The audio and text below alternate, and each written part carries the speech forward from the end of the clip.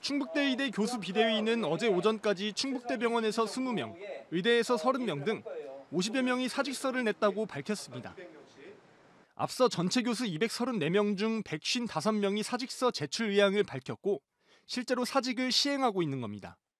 교수들은 의대 정원을 현행 49명에서 200명까지 한꺼번에 4배 늘리는 것은 제대로 된 교육이 불가능하다며 지금이라도 적정 수준을 논의하자고 호소합니다. 캠퍼스의 가장 핵심적인 인프라도 갖춰지지 않은 상태에서 그거를 지금 200명 가까이 뽑으라고 하는데 충청북도의 제안으로 의대 교수들이 어제 오후 김영환 지사와 만났습니다.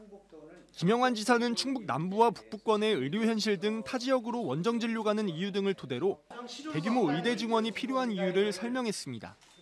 그러면서 정부와 별개로 충북만의 예산으로 인프라 조성을 적극 돕겠다고 말했습니다.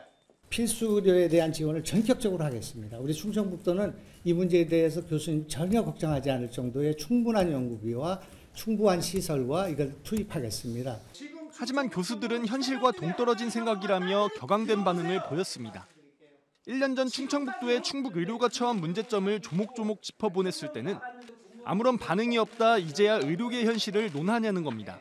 1년 반 동안 무성센터, 산모센터, 응급센터 지원하라고 할 때 뭐 하셨습니까? 하나도 지원한 거 없으시잖아요. 또 의료 환경을 개선하려면 무분별한 증원은 답이 아니라고 강조했습니다. 적정한 수치로 증원해 능력 있는 의사를 배출할 수 있는 시스템 구축이 먼저라는 겁니다. 충북대의 경우 80명까지 증원하면 충분하다고 전했는데 한 해 200명씩 수용하면 면허를 쉽겠다는 의사가 많아질 뿐만 아니라 그 인원이 충북에 남아있지도 않을 것이라고 주장합니다. 의과대학 증원 200명을 한다 하더라도 지역에 남을 수 있는 환경을 만들지 않으면 결국은 그 의과대 학생들은 모두 다 외지로 떠날 수밖에 없는 환경이 됩니다.